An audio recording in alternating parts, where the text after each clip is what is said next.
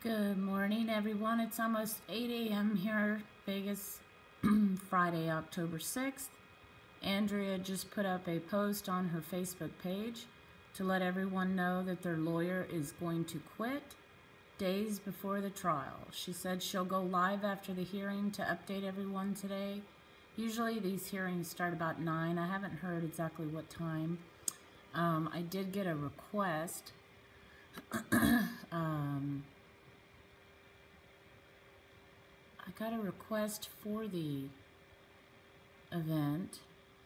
Pre-trial hearing. Uh, let's see, it, mattered how, it matters how you stand. Yeah, the hearing starts at 9 a.m. and goes to 12 today. It's downtown at the courthouse. so I will not be attending the hearing. Um, it's also my understanding that Pete Santilli uh, will hear the, let's see, the change of plea for Pete is going to be at 9 and then 11 a.m. Ryan Bundy canvas and then at 11.30 Ryan Payne's motions. Rumor has it there may be more as well.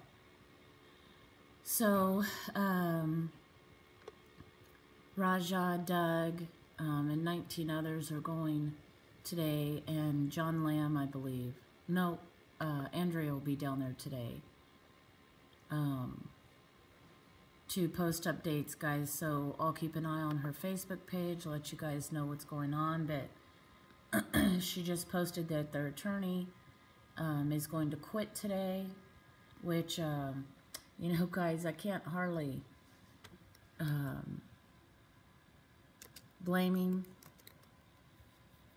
you know, you go through this three or four times. If you have an option to get out, you, you know, um, a lot of people would take it. You know, Eric Parker is not going to back down.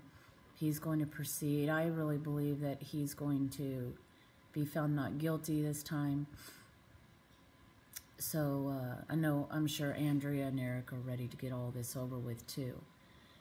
So, but this is the latest information. I'll keep an eye out for Andrea's Facebook page, guys. When she goes live, I'll let you know. I'll post it as soon as I can. I hope you guys have a good day, and I'll talk to you later.